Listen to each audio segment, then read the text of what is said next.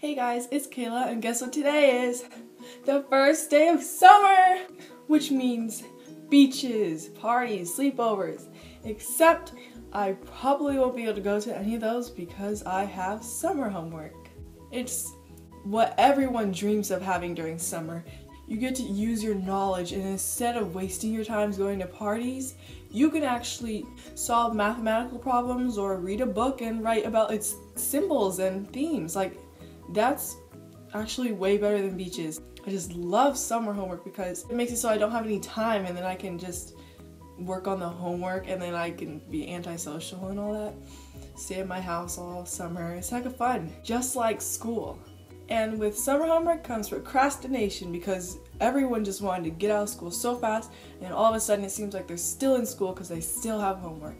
So I will show you tips on how to finish your summer homework early and have the rest of the summer as a summer break like it's supposed to be. The first step for you all is to write a schedule.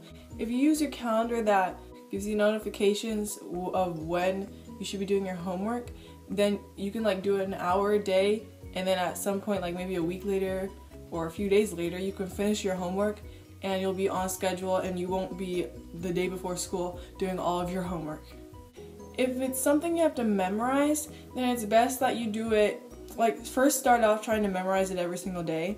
And once you get it all memorized, you can split up to uh, once a week. And then if it's like perfectly in your brain, like do it every now and then, but make sure you keep doing it so you don't forget it by the time school starts.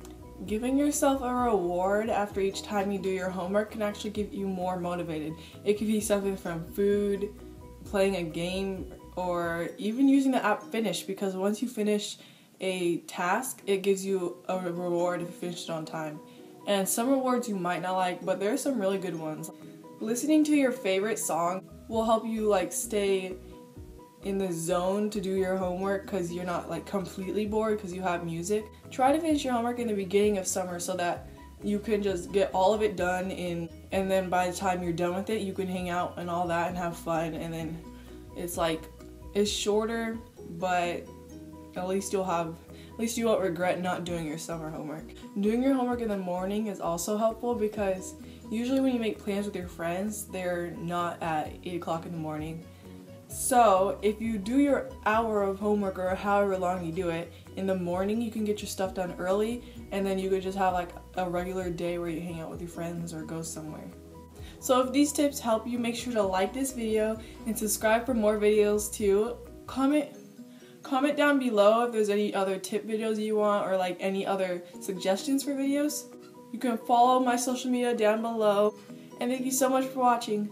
Bye!